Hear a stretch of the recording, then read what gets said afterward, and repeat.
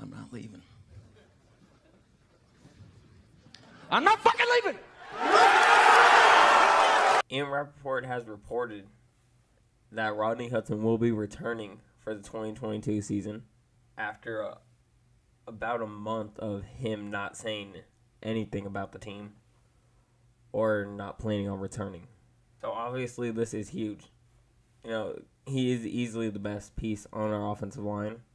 Our offensive line is literally nothing without him. You can literally see our record with them and without them, and we are way better with them. And with this, our offense is just looking even better.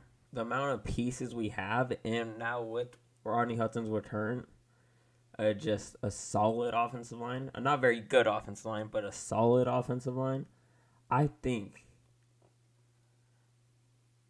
I think there's just no way we don't have a top five offense this year. That's how much of an impact just one, oh, one center makes. He can he can literally change how good this team is. But that's gonna be the video. Let me know down below if you guys are excited to see Rodney Hudson go back or you're not. And be sure to hit that like and sub button. With that being said, I'll see y'all on the next one.